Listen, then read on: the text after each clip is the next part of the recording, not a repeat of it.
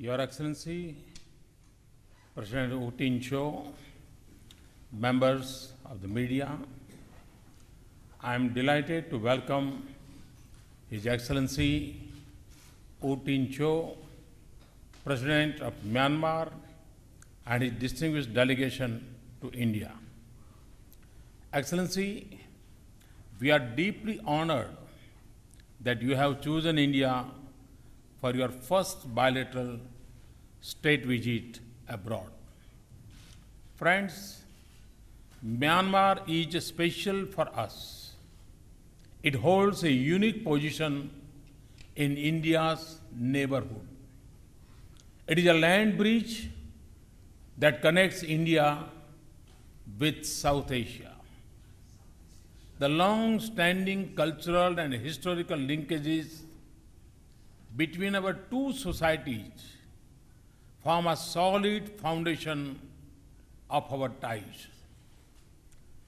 Buddhist principles of metta or loving kindness and sarva pantha sambhav equality of all religions define our ways of life.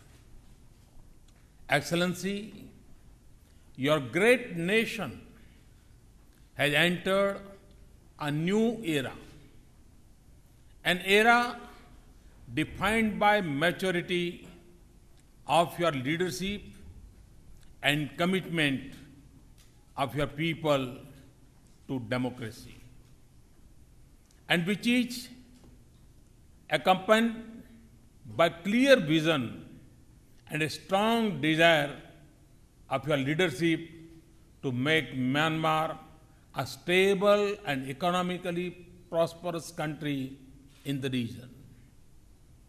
As the new government of Myanmar starts its journey to grow its agriculture, develop its industry and infrastructure, strengthen its education, skill its youth, build new institutions and strengthen existing ones, secure its society, seek a firm path to economic prosperity, and above all, pursue an ambition to build a modern nation.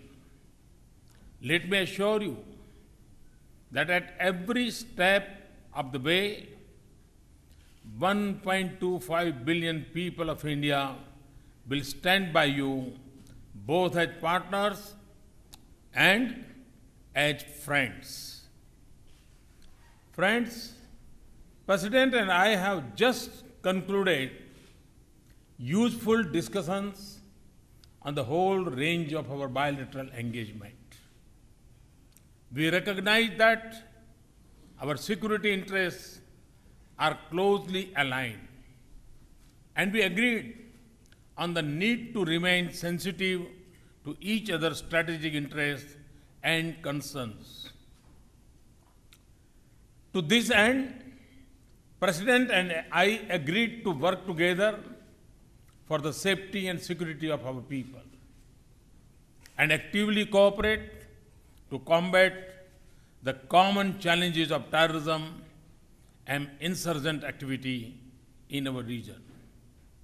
I have also conveyed India's full support to the Peace Process Initiative under the 21st Century Panglong Conference.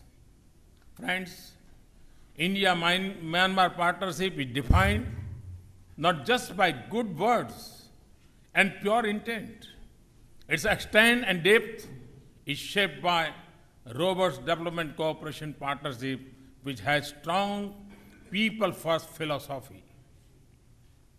India's nearly $1.75 billion development assistance is touching the lives of the common man of Myanmar.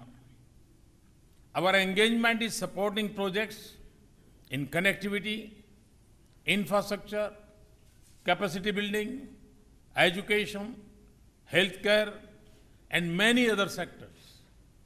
Some concrete examples of our partnership include Kaladan project, which is port and waterway segment in near completion later this year. India, Myanmar, Thailand trilateral highway, Myanmar Institute of Information Technology, Advanced Center of Agriculture Research and Education, as well as smaller projects in health, education, and industrial training sectors.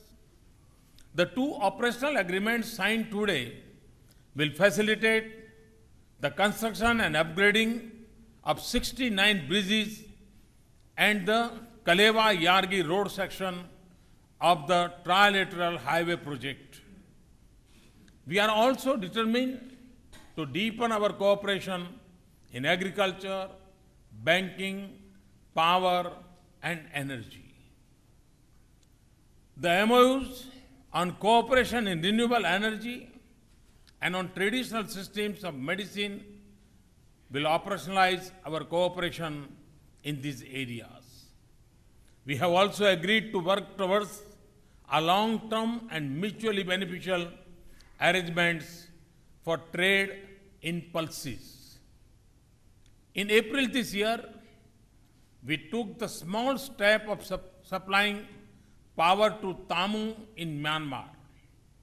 I have also told the President that we are willing to substantially scale, scale up our supply of power.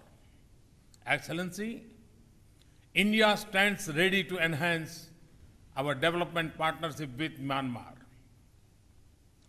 and do so as per the priorities of the Myanmar government.